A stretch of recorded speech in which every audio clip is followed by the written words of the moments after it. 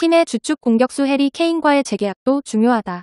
케인은 2014년부터 팀에서 활약, 토트넘 역대 최고의 선수로 발돋움했다. 케인의 계약 기간은 2024년까지다. 계속되는 무관으로 인해 이적설이 흘러나오기도 했지만 토트넘에 잔류해왔다. 최근에는 분데스리가 강호 바이에른 뮌헨과 연결되며 이적설이 재점화됐다. 현지 매체는 케인은 콘테 감독 밑에서 우승 트로피를 차지할 수 있다고 믿고 있으며 콘테는 케인이 팀의 트로피를 가져다 줄 것이라 믿고 있다. 레비 회장은 두 사람에게 우승에 대한 의지를 보여줘야 한다라고 덧붙였다. 콘테 감독은 레비 회장이 자신과 같은 야망을 지니고 있는지 적극적인 투자 의지가 재계약 여부를 결정할 것이라고 말했다. 톰 호스퍼와 콘테 감독의 계약 기간 만료가 6개월 앞으로 다가왔다. 콘테 감독은 지난해 위기에 빠진 토트넘을 빠르게 재정비했다.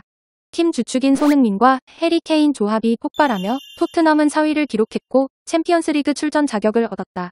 토트넘은 콘테 감독과의 계약 연장을 원하는데 연봉 16억 인상 조건을 내걸었다. 하지만 콘테 감독은 여유로운 듯 입장을 밝히지 않고 있다. 현지 매체는 토트넘 레비 회장이 겨울 이적 시장에서 팀의 장기적인 미래에 잘 맞는 선수들을 영입해야 한다. 콘테 감독은 리그에서 강한 선수들을 원한다. 그를 믿어야 한다고 전했다.